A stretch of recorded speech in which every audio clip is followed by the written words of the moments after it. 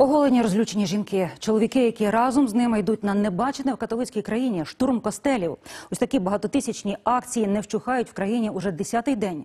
Поляки, поляки протестують проти рішення їхнього конституційного суду, який заборонив переривання вагітності, навіть коли плід має вади несумісні з життям. Рішення вбити своє дитя завжди трагічне для жінки, і церква виступає проти абортів традиційно. Але як відгукнулися ці протести в нас? Як ставляться українці до заборони абортів? Відверто запитав їх Костя Грубич. Голу правду незгоди із забороною абортів власним тілом демонстрували жінки на протестах у Варшаві. Підтримала полячок і українка, що днями оголилася біля польського консульства в Одесі. Та вистачає в Україні і тих, хто заборону поляків підтримує.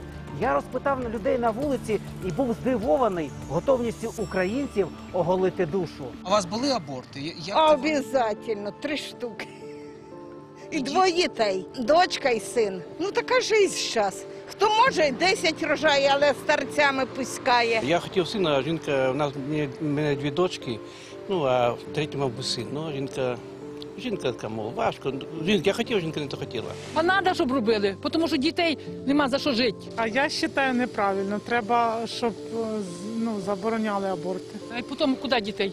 Альона, ти таке говориш? Ні, таке. Ну, я так вважаю. А сама робить аборти. Багато зараз в Україні є, що народжують, там спускають в туалети і все остальне. Ну так ненормально просто це. Я не підтримую якби особо аборти, але це кожне рішення своїх. Якщо завідомо відомо, що дитини є якісь вади, фізичні, розумові, то я вважаю, що ну, це не є чимось таким, скажімо так, зовсім кримінальним. грех считается по нашим законам, по исламским. Никто не знает, этот человек на будущем кем станет, что будет дальше, зачем делать аборт. Это прекрасный закон, потому что надо рожать, потом поколение подрастет. Дарма бастують? Будут, конечно, будут, ком- будет кому работать, и мужчины будут умнее, они будут а, эффектнее. Трое детей я буду всегда мотивировать мужа, нам нужны деньги. Якщо держава хоче, щоб е, не знаю, кількість населення, да, якась демографічна ситуація в ній е, покращувалась, да, то мені здається, що держава повинна формувати певні умови для того, щоб люди хотіли народжувати, хотіли